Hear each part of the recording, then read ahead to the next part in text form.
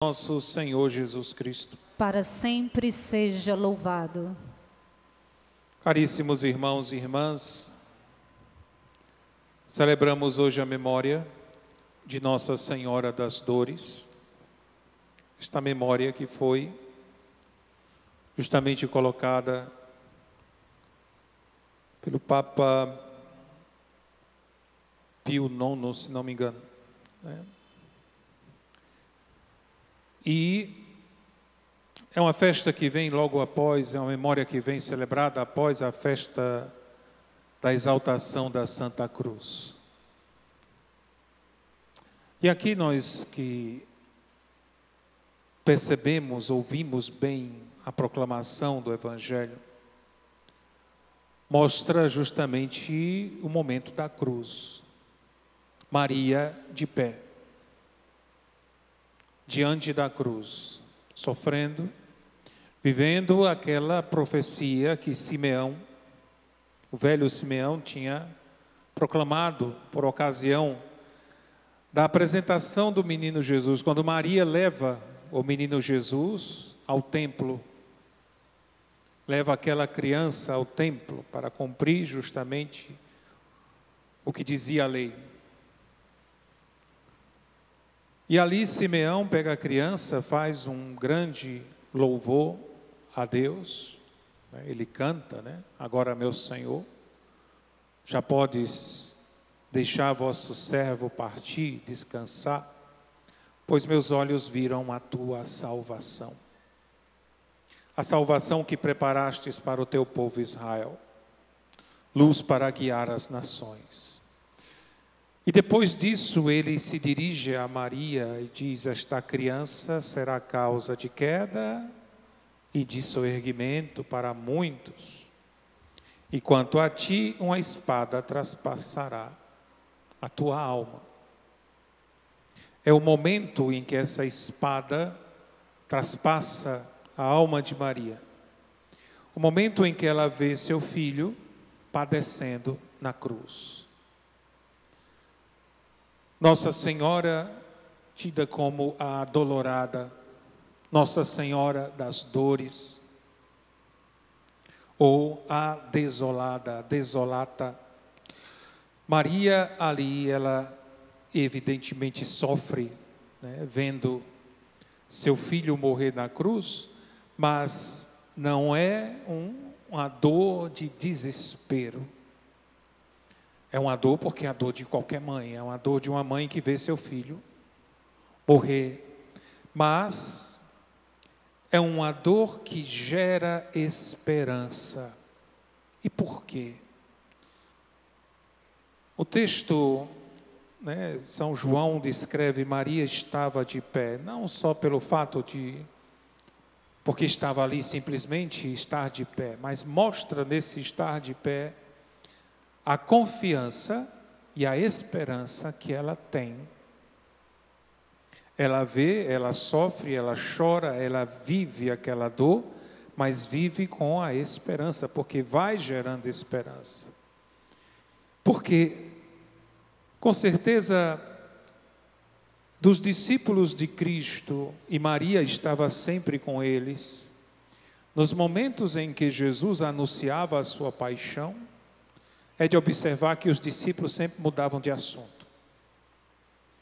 Ou se perguntava quem é que seria o maior no reino dos céus.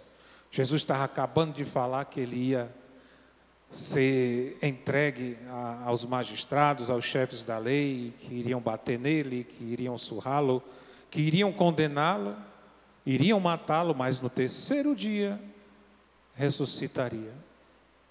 Os discípulos escutavam, ficavam com certo medo, mas mudavam de assunto para não ficar né, com aquele medo ali. Maria não.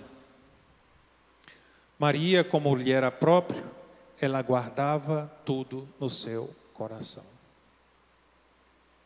Maria, isso é algo que ela vai, em toda a sua vida, cultivando esse dom da escuta e de guardar esse tesouro no seu coração, porque é palavra de Deus. E ela guarda isto. Já aguardara aquilo que Simeão havia dito, e agora aguarda aquilo que seu filho diz: que ele vai padecer, vai morrer e no terceiro dia ressuscitará. Ela aguarda, e aquilo gera esperança no momento em que ela está de pé diante da cruz, porque ela vê se cumprir a profecia de Simeão, ela vê se cumprir aquilo que Jesus anunciava, e agora é o momento em que ela espera, ela crê. Meu filho sofre, meu filho morre, mas no terceiro dia ressuscitará, porque creio nele. E porque Maria, mais do que qualquer um, é a mulher do que vive, que trouxe, que concebeu o mistério, né? que participa ativamente desse mistério, tanto na, no nascimento, na vida pública, agora, na paixão, ela participa ali de pé. Ela não ignora a dor, não ignora o sofrimento, porque sofre ali, é as dores de Maria, é realmente uma espada traspassando a sua alma, mas não foge à esperança, porque no terceiro dia ele ressuscitará. E mesmo sabendo que ressuscitará, não está alheia à dor. Né?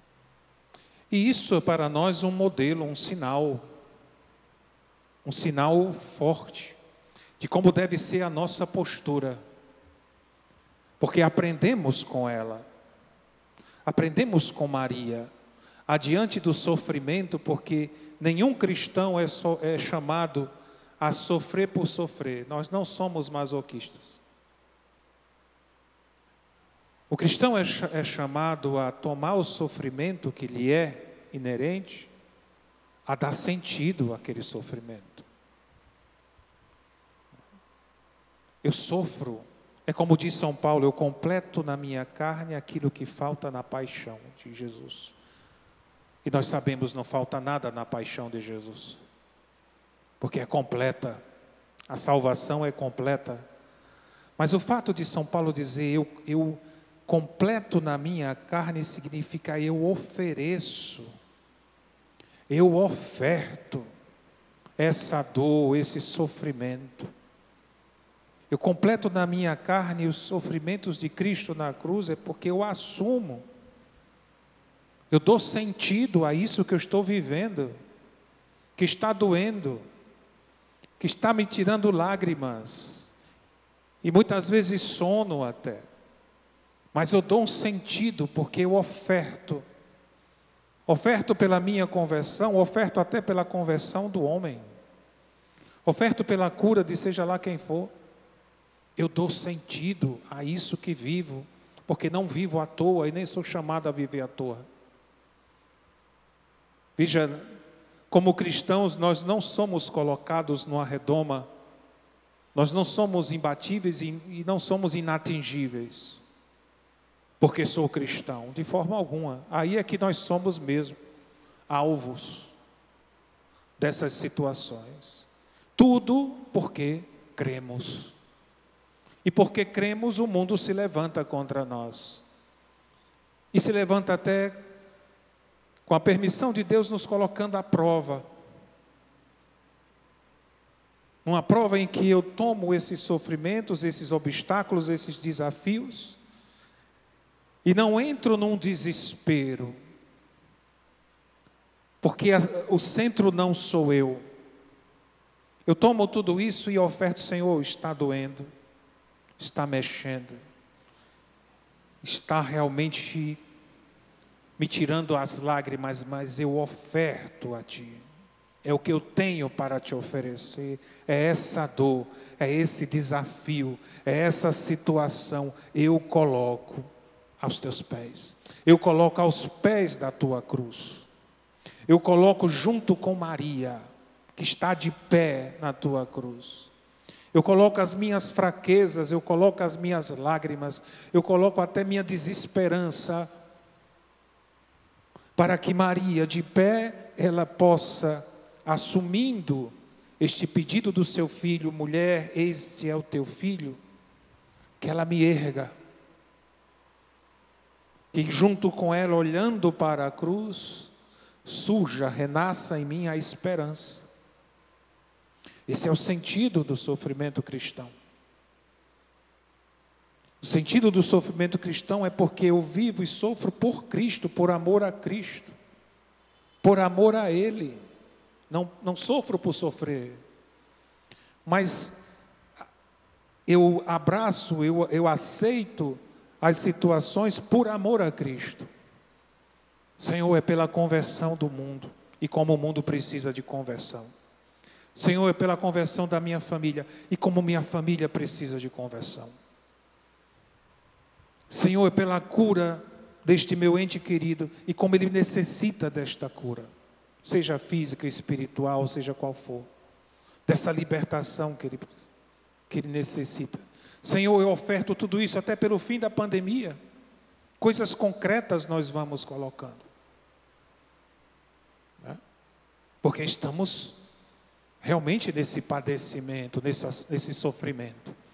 Mas eu dou sentido a ele. Porque senão é tudo em vão. E não é em vão.